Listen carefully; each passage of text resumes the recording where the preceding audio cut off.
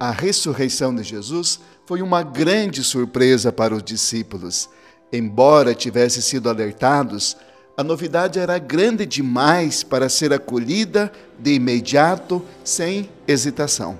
Por isso, o ressuscitado apareceu por 40 dias aos discípulos, para os confirmar na fé, repetindo sempre: Alegrai-vos, não tenhais medo. Como viver esse evangelho no dia de hoje? A humanidade hoje está mergulhada em tantos medos. Quem sabe a sua família também, e inclusive você pessoalmente. Mas a ressurreição de Jesus desarma os nossos medos e nos coloca num patamar acima, numa esperança cristã que é a certeza sem fim da vitória final vitória no estilo de Jesus.